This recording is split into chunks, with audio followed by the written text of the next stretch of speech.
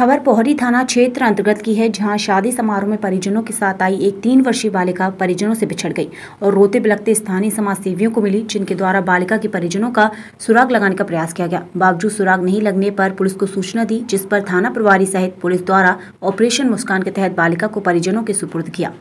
बता दें कि पोहरी शिव कॉलोनी में रौनक पुत्री विस्मिर उम्र तीन साल निवासी शिवपुरी अपने परिजनों के साथ शादी समारोह में पोहरी आई थी, जहाँ परिजनों से बिछड़ गई, जिसे सुरक्षित समाजसेवी सुमंत ओझा एवं गोलू गुप्ता द्वारा पुलिस को सौंपा गया, जहाँ पुलिस ने परिजनों के सुपुर्द कर दिया है।